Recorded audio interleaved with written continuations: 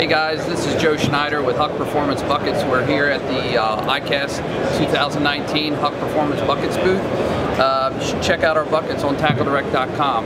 They have uh, Vibram non-skid feet, got a customization program, got handles on the side made out of the same Vibram components. Our handle has a break strength of over a thousand pounds and uh, we've got about 14 different colors. So uh, check them out on TackleDirect.com.